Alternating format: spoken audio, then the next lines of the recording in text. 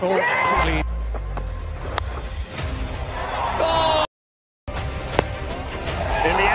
R C twenty bowling trick जी हाँ guys आपने intro में देख ही लिया होगा। बॉल की लेंथ आगे रखनी है और डायरेक्शन मिडिल स्टम्प की तरफ़। विकेट्स लेने के लिए सबसे ज़्यादा ज़रूरी है फील्डिंग गाइज़ आपको फील्डिंग कुछ इस तरीके से सेट कर लेनी है। स्टेप बाय स्टेप फॉलो करते जाना है गाइज़ एक भी पॉइंट मिस किया तो ट्रिक वर्क नहीं करेगी। जी हाँ गाइज़ मैं एक बार फिर बता देता हूँ लेंथ आगे रखनी है और बॉल की डायरेक्शन मिडिल स्टम्प की तरफ़ होनी चाहिए। पिच ड्राई रखनी है और बॉल की स्पीड स्लो रखनी है। चलिए, मैं आपको दिखाता हूँ ट्रिक कैसे वर्क करती है।